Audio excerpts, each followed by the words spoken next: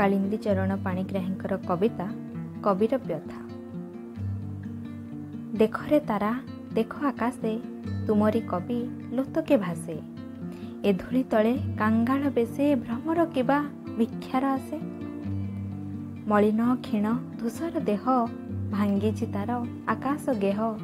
ଭୂତଳେ ପଡ଼ି ପରାଣ ତାର ମାଗଇ ସୁଖ ମାଗଇ ସ୍ନେହ। ଦେଖରେ ବନ ଦେଖରେ ଗିରି ତୁମରି କବି କି ହତଶିରି ଭୁବନ ତାକୁ ବଞ୍ଚିତ କରି ଯାତନା ଦାଗ ଦେଇଛି ଚିରି। ଦେଖରେ ଦେଖ ବସନ୍ତ ବା ବିକଳେ କବି ଭ୍ରମର ଆହା। ତୁମରି ଚିର ଖେଳର ସାଥୀ ନଲଭି କାହିଁ ବରସ ସାହା? ଦେଖରେ ପିକ ଦେଖରେ ସୁକ ଲଭିଛି କବି କି ଗୁରୁ ଦୁଃଖ? ତୁମରି ସ୍ୱର ନୁହେଁ ମଧୁର ଲାଗଇ ଆଜି ବିକଳ ରୁକ୍ଷ। ନପାରେ ତୁମ ସଙ୍ଗତେ ଉଡ଼ି ବେଦନା ତଳେ ଯାଇଛି ବୁଡ଼ି।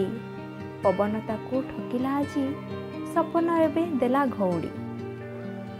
ଦେଖ ଗୋଲାପ ଦେଖଲ ଜୁଇ କବି ଲଲାଟେ ଅଧାର ଛୁଇଁ। ଜଳଇ ମହା ହୁତାଶ ତହିଁ ଲାଗଇ ପାଦେ ତପତ ଭୁଇଁ। ଦେଖ ସାଗର ଦେଖ ଗୋ ନଦୀ ପୂର୍ବ ସ୍ନେହ ରହିଛି ଯଦି ହତାଶ ଆଜି ତୃଷିତ କବି ଭୁବନ ଗୋଟା ପୃଷ୍ଠରେ ଲଦି। ପରାଣ ପ୍ରିୟ ଦେଖ ଏ ଶଶୀ କ୍ଲାନ୍ତ ଏ କବି ନୟନେ ହସି ଦେଖରେ ଦେଖ କଜଳ ଘନ ନିରାଶେ ପଥେ ରହିଛି ବସି ଏତିକି ଖାଲି ଅଛି ଆଶ୍ୱାସ ତୁମେ ଯେ ମୋର ଦୁଃଖର ଆସ। ହତାଶ ଗାଥା ଶୁଣାଇ ତାକୁ ତୁମରିଠାରେ ରଖି ବିଶ୍ୱାସ। ଏ ଥିଲା କାଳିନ୍ଦୀ ଚରଣ।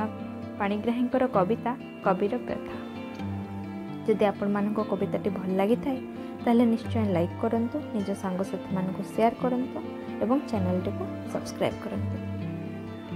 ଧନ୍ୟବାଦ।